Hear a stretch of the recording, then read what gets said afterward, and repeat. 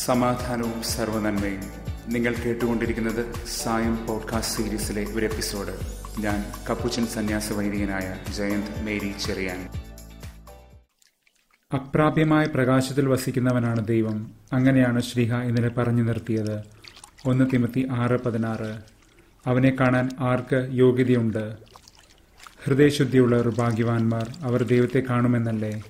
മത്തായി അഞ്ച് എട്ട്. ഇന്നത്തെ വചനവിചിന്തനത്തിൽ ഹൃദയം കാർഡിയായുടെ നീതിയും വിശുദ്ധിയും കടന്നു വരുന്നത് നാം സൂക്ഷ്മമായി ശ്രദ്ധിക്കുക തന്നെ വേണം. ഇന്ന് ജ്ഞാനത്തിന്റെ പുസ്തകം രണ്ടാം അധ്യായം നമ്മോട് പറയുന്നു ഹൃദയസ്പന്ദനം കൊണ്ട് ജ്വലിക്കുന്ന തീപ്പൊരിയാണ് ചിന്ത. രണ്ട് രണ്ട്. ആ അധ്യായം മരണവുമായി ഉടമ്പടി ചെയ്യുന്ന ദുഷ്ടന്മാരുടെ ഹൃദയത്തിൽ വിരിയുന്ന അക്രമചിന്തകളെക്കുറിച്ചാണ് സംസാരിക്കുന്നത്. ജീവദായകനായ ദൈവത്തോടുള്ള ഉടമ്പടി നാം ഇന്നലെ ശ്രദ്ധിക്കുകയായിരുന്നല്ലോ. ഇന്ന് രണ്ടാമത്തെ വായന യാക്കോബ് മൂന്നാം അധ്യായം പതിനാറ് മുതൽ നാലാം അധ്യായം മൂന്ന് വരെ ദൈവവുമായുള്ള സൗഹൃദ ബന്ധത്തിന്റെ കർമ്മരേഖയുമാണ്. അതും മനുഷ്യഹൃദയങ്ങളെ കീറി പരിശോധിക്കുന്നുണ്ട്. ഈ രണ്ട് പാഠഭാഗങ്ങളും തമ്മിൽ ചെറുതല്ലാത്ത പൊരുത്തങ്ങളുണ്ട്. ചില നാഴികക്കല്ലുകൾ നമുക്ക് ശ്രദ്ധിക്കാം. യുദ്ധോത്സുകമായ ജീവിത രീതി നയിക്കുന്ന സമാധാനത്തെ ഹനിക്കുന്ന നീതിയെ ലംഘിക്കുന്ന സുഖലോലുപമായ ഹെഡനിസ്റ്റിക് ജീവിതശൈലി രണ്ടിലും പ്രതിപാദിക്കപ്പെടുന്നുണ്ട്. ഈ ദുരാശകളിൽ നിന്നും ജീവിതാസക്തികളിൽ നിന്നും അതിക്രമം പാപത്തഴക്കം എന്നിവ പിറകൊള്ളുന്നു. യുദ്ധവും സമരവും എന്ന പ്രയോഗം ഇവിടെ ശ്രദ്ധേയമാണ്. കലുഷിതമായ അതായത് ഒരു ഉറപ്പുമില്ലാതെ അശാന്തിയിൽ ചാഞ്ചാടുന്ന വിദ്വേഷം വേരോടുന്ന ഹൃദയം അത് ഒരു യുദ്ധഭൂമി തന്നെയാണെന്നാണ് ശ്രീഹ പറയുന്നത്. യുദ്ധം പോളയമോയി ഇന്ന് മാധ്യമങ്ങളുടെ ബഹുമുഖ ഡിജിറ്റൽ കവലകളിൽ നാം നടത്തുന്ന വാക്ക് പോരുകൾ ഇംഗ്ലീഷിൽ പോളമിക്സ് എന്നാണ് പറയപ്പെടുന്നത്. ആ വാക്ക് പോലും യുദ്ധത്തെ കുറിക്കുന്ന ഈ വാക്കിൽ നിന്ന് വരുന്നു. തിന്മയും വിദ്വേഷവും ദുരാശയും നിറഞ്ഞ ജീവിതത്തിന് തങ്ങളെ തന്നെ തീരെഴുതി കൊടുത്തതും പോരാഞ്ഞിട്ട് ദുഷ്ടർ നീതിമാന്റെ മേൽ കടന്നുകയറ്റം നടത്തുകയാണ്. അവർക്ക് നീതിമാനോടുള്ള വെറുപ്പും യുദ്ധക്കുതിയും ജ്ഞാനം രണ്ട് പന്ത്രണ്ട് അത് ക്രിസ്തുവിന്റെ പീഡാസഹനത്തിന്റെ പ്രവചനമായി തന്നെയാണ് സഭാപിതാക്കന്മാർ വായിച്ചെടുക്കുന്നത്. ഏഷ്യ മൂന്ന് പത്ത്. അവൻ നമുക്ക് ഇണങ്ങുന്നവനല്ല അക്രസ്റ്റോസ് എന്ന് പറഞ്ഞുകൊണ്ട് അവർ നീതിമാനെ അപായപ്പെടുത്തുന്നു. ഉപയോഗം ക്രസ്റ്റോസ് അല്ലാത്തത് അക്രസ്റ്റോസ് ഭാരമായത് പ്രയോജനരഹിതമായത്. അത് നാഥന്റെ നാമം തന്നെയായ ക്രിസ്റ്റോസിന്റെ ധ്വനിയെ അനുകരിക്കുന്ന ഒരു അലങ്കാര പ്രയോഗമാണ് നാഥന്റെ പരിശുദ്ധി ദുഷ്ടന്മാർക്ക് ഭാരമായി അനുഭവപ്പെടുന്നു. അവനെ പിൻചെല്ലാൻ ആഗ്രഹിക്കാത്തവർക്ക് അവന്റെ കുരിശ് നിഷ്പ്രയോജനവുമാണ്. അവന്റെ വെളിച്ചത്ത് വരാതെ ദുഷ്ടർ പതിയിരിക്കുകയാണ് തങ്ങളുടെ കുറ്റങ്ങളെ ഒളിപ്പിച്ചു പിടിച്ചുകൊണ്ട്. ജ്ഞാനം രണ്ട് പതിനാല്. വെളിച്ചം എത്ര ശോഭയോടെ വന്നിട്ടും ദുഷ്ടർ ആ വെളിച്ചത്തിലേക്ക് വന്നില്ല വെളിച്ചത്തെ വെറുക്കുകയും ചെയ്യുന്നു എന്ന് നാഥൻ പറഞ്ഞിട്ടുണ്ടല്ലോ. യോഹന്നാൻ മൂന്ന് ഇരുപത്. അപ്രാപ്യമായ പ്രകാശം നമുക്കായി ഉദയം ചെയ്തിട്ടും നാം ഇരുട്ടിൽ തന്നെ ജീവിക്കാൻ തീരുമാനിക്കുന്നു. അല്ല മരിക്കാൻ. യോഹന്നാൻ പതിമൂന്ന് മുപ്പത് ഒന്ന് ഒമ്പത് മുതൽ പതിനൊന്ന് വരെ. ഇന്ന് യാക്കോബ് മൂന്ന് പതിനാറിലും നാം കാണുന്നുണ്ട് വെളിച്ചത്തിലേക്ക് വരാൻ വിസമ്മതിച്ചുകൊണ്ട് ദുഷ്ടത കൂമ്പാരം കൂട്ടുന്ന ഹൃദയങ്ങളെക്കുറിച്ച്. ഇവരുടെ അസ്വസ്ഥാജനകമായ അശാന്തിയുടെ കൂത്തരങ്ങായ നീതിരഹിതമായ ജീവിതശൈലിയെക്കുറിച്ചാണ് ഇന്ന് യാക്കോബ് ശ്രീഹ വാചാലനാകുന്നത്. ഇന്നലെ നല്ല ഫലങ്ങൾ പുറപ്പെടുവിക്കുന്നതിനെക്കുറിച്ച് നാഥൻ പഠിപ്പിക്കുകയായിരുന്നല്ലോ. ഇന്നിതാ ജ്ഞാനത്തിന്റെ ഫലങ്ങളെക്കുറിച്ചും നീതിയുടെ ഫലങ്ങളെക്കുറിച്ചുമാണ് ശ്രീഹ പറയുന്നത്. ദൈവിക ജ്ഞാനവും ധാരണയും എപ്പിസ്റ്റെമോൻ പേറുന്നവരായിരിക്കണം നാം. എപ്പിസ്റ്റമോൻ എന്ന ഈ വാക്ക് നമ്മെ നിയമാവർത്തനം നാല് ആറിൽ കൊണ്ട് എത്തിക്കുന്നു നമ്മുടെ ദൈവിക ധാരണകൾ കണ്ട് സർവലോകവും നമ്മോടുകൂടെയുള്ള ദൈവത്തിന്റെ മഹത്വം സ്തുതിക്കാൻ ഇടയാക്കണമെന്ന്. നമ്മുടെ പ്രവൃത്തികളിൽ നിന്ന് വിശ്വാസത്തെ വെളിവാക്കി തരാം എന്ന് നമ്മെ കഴിഞ്ഞ ആഴ്ച ശ്രീഹ വെല്ലുവിളിച്ചെങ്കിൽ ഇന്നിതാ നമ്മുടെ ദൈവിക ജ്ഞാനം എങ്ങനെ ജീവിതത്തിൽ വെളിവാകുന്നു എന്ന് പരിശോധിക്കാനാണ് വെല്ലുവിളിക്കുന്നത്. എളിമ എന്ന പുണ്യം ശ്രീഹ പ്രധാനമായും ഇവിടെ പരാമർശിക്കുന്നുണ്ട്.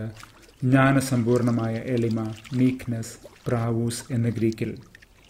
മത്തായി പതിനൊന്ന് ഇരുപത്തൊമ്പതിൽ അത് നാഥന്റെ തന്നെ ഭാവമായി നമുക്ക് പകരുന്നുമുണ്ട്.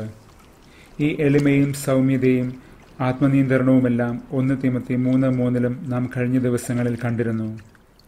ഗ്രീക്ക് ചിന്തയിൽ പ്രാവൂസ് എന്നാൽ എളിമ ഉന്നത സ്ഥാനീയരുടെ മഹത്വം വെളിവാക്കുന്ന ഒരു സുഹൃതമാണ്. ഉന്നതർ പ്രദർശിപ്പിക്കുന്ന എളിമ എന്നും ചരിത്രത്തിൽ ഇടം നേടുകയും ചെയ്യും.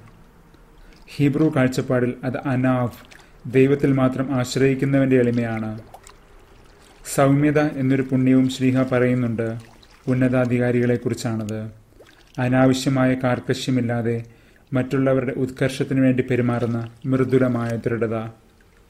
അതിനോടൊപ്പം അനുസരണവും ശ്രീഹ ചേർത്ത് വയ്ക്കുന്നുണ്ട്. സാധാരണ രീതിയിൽ അനുസരണ എളിയവർ ഉന്നതരോട് കാണിക്കേണ്ട ഒരു സുഹൃതമാണല്ലോ. ഈ രണ്ട് ചരണങ്ങളും നാം കാണുകയാണ്. ഉന്നതർ എളിയവരോടും എളിയവർ ഉന്നതരോടും. ഈ രണ്ട് ദിശകളിലും നീതിയെയും സമാധാനത്തെയും നിർണയിക്കുന്നത് ദൈവിക ജ്ഞാനം തന്നെയാകണം. അല്ലാത്തതെല്ലാം അധികാര വടംവലിയായി മാറും ഇന്ന് സുവിശേഷവും അതിനെക്കുറിച്ച് തന്നെയാണ് സംസാരിക്കുന്നത്. സമാധാനം നീതിയുടെ ഭരണത ഫലമാണെന്ന് നമുക്കറിയാം. എന്നാൽ ശ്രീഹ പറയുന്നു സമാധാനത്തിന്റെ ഫലമായി മാത്രമേ നീതി പാലിക്കാനാകൂ. ദൈവിക ജീവിതത്തോട് നാം പുലർത്തുന്ന അനുരഞ്ജനം തന്നെയാണ് ഈ സമാധാനം. ഇന്ന് സുവിശേഷം മർക്കോസ് ഒമ്പത് മുപ്പത് മുതൽ മുപ്പത്തേഴ് വരെ നാഥൻ തന്റെ ആസന്നമായ പീഡാസഹനത്തെ വിവരിക്കുകയാണ്. തന്റെ ശുശ്രൂഷകൾക്ക് കിരാതമായ ഒരന്ത്യം കാത്തിരിക്കുന്നു എന്ന സത്യം മനുഷ്യപുത്രൻ മനുഷ്യരുടെ കൈകളിൽ ഏൽപ്പിക്കപ്പെടാൻ പോകുന്നു. ഇന്ന് ജ്ഞാനം രണ്ട് യാക്കോബ് മൂന്ന് എന്നിവ വിവരിച്ച മനുഷ്യരുടെ വെറുപ്പിന്റെ യുദ്ധഭൂമികളിലാണ് മനുഷ്യപുത്രൻ ആക്രമണത്തിനിരയായി കൊല്ലപ്പെടാൻ പോകുന്നത്. നാഥൻ ഇതൊക്കെ പ്രവചിച്ചതിന് ശേഷവും ശിഷ്യന്മാർ തങ്ങളിൽ ആരാണ് വലിയവൻ എന്നൊരു തർക്കം നടത്തുകയാണ്. എന്താണ് നിങ്ങൾ വഴിയിൽ തർക്കിച്ചുകൊണ്ടിരുന്നത്? ഓൺ ദ വേ നാഥൻ ചോദിക്കുന്നു. വഴിയിൽ എന്ന ഈ പ്രയോഗം രണ്ട് പ്രാവശ്യം കടന്നു വരുന്നുണ്ട് ഇവിടെ. നാഥന്റെ പീഡാസഹനത്തെ ഒരു വഴിയാത്രയായിട്ടാണല്ലോ സുവിശേഷങ്ങൾ വിവരിക്കുന്നത്. ക്രിസ്തീയ പ്രത്യാശയെ ഒരു വഴിയാത്രയായാണ് പാരമ്പര്യങ്ങൾ കാണുന്നത്. ആദിമ ക്രിസ്ത്യാനികളെ വിളിച്ചിരുന്നതും മാർഗികൾ എന്നാണല്ലോ ദ വേ വഴിയിൽ വീണ വിത്തിനെക്കുറിച്ച് നാഥൻ ഇന്നലെ പ്രതിപാദിച്ചിരുന്നു. ശിഷ്യർ അധികാര തർക്കത്തിൽ അങ്ങനെ ആ വഴിയരികിൽ വീണുപോകുന്ന വിത്തുകളെ പോലെയാകുന്നു നാഥൻ ഒരു കുഞ്ഞിനെ എടുത്ത് ഉയർത്തിയിട്ട് പറയുന്നു ശിശുവിനെ പോലെയാകുക ശിശുക്കളെ സ്വീകരിക്കുന്നവൻ എന്നെയും എന്നെ സ്വീകരിക്കുന്നവൻ ദൈവത്തെയും സ്വീകരിക്കുന്നു. ശിശുക്കൾ എന്നാൽ കുരുന്നുകൾ എന്ന് മാത്രമല്ല അർത്ഥം. നമ്മുടെ കരുണയും ശുശ്രൂഷയും ആവശ്യമുള്ള എല്ലാവരും കുരുന്നുകളും കുഞ്ഞുങ്ങളുമാണ്. നാം സഭയുടെ ഈ അജപാലന ദൗത്യം മറന്ന് അധികാരങ്ങൾ ഊട്ടിയുറപ്പിക്കാനും യുദ്ധങ്ങൾ ജയിക്കാനും വേണ്ടി ഇറങ്ങിപ്പുറപ്പെടരുത് അശാന്തി പരത്തുന്ന യുദ്ധഭൂമികൾ.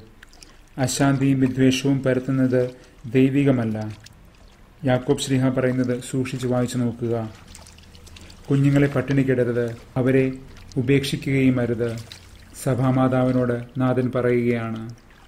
കാരണം അവർ ദൈവത്തിന്റെ നിസ്വരാണ്. എളിയ ജനം പ്രാവൂസ് അനാവ്യം ഇങ്ങനെ ഒരു എളിയവൻ തന്റെ ന്യായം ഉണർത്തിക്കാൻ തന്നെ ദ്രോഹിക്കുന്നവർക്ക് നേരെ ന്യായം ലഭിച്ചു കിട്ടാൻ ദൈവത്തെ തന്നെ വിളിച്ചുണർത്തുകയാണ് ഇന്ന് സങ്കീർത്തനം അമ്പത്തിനാലിൽ.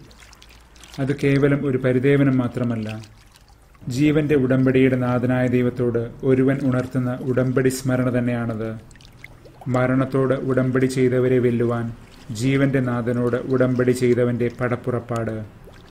ഉടമ്പടി ലംഘിച്ച് ദേശത്തെ അനീതിയുടെ വിഹാര കേന്ദ്രമാക്കിയവർക്ക് നേരെ ദൈവത്തിന്റെ വിധി. ദൈവത്തിന്റെ കയ്യിൽ നീതിയുണ്ട് ജീവനുമുണ്ട് എന്ന് ശ്രീഹ പറഞ്ഞതുപോലെ ഈ നീതിയുടെ ഫലങ്ങളെ സമാധാനത്തിൽ പാലിച്ചുകൊള്ളുക മത്തായി അഞ്ച് ഒമ്പത് പറയുന്നു സമാധാനം സ്ഥാപിക്കുന്നവർ ഭാഗ്യവാന്മാർ. എന്തുകൊണ്ടെന്നാൽ അവർ ദൈവപുത്രന്മാരെന്ന് വിളിക്കപ്പെടും.